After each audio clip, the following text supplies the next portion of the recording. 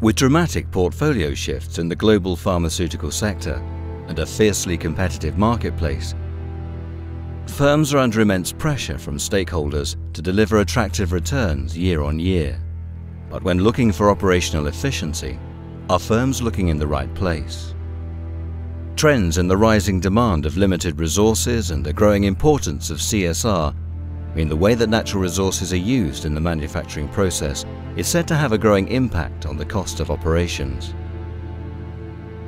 Did you know the sector uses over 1 million megalitres of water each year? And in 2014, the cost of this water will exceed $350 million. In 2010, the sector in Europe consumed the equivalent of 54 million tonnes of oil. We believe that maximising savings and supporting corporate responsibility strategies will depend on two important principles. The first is understanding the current natural resource use.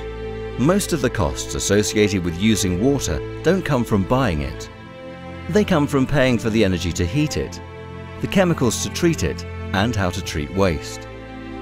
To identify where the cost saving is greatest, you must know where consumption is highest. Secondly, we must adopt an integrated approach. Typically, the sector reviews all areas of operations in silos. But the areas of operation are dependent on one another and shouldn't be considered in isolation. It's much more effective to focus on the whole operation and identify the interdependencies between each function.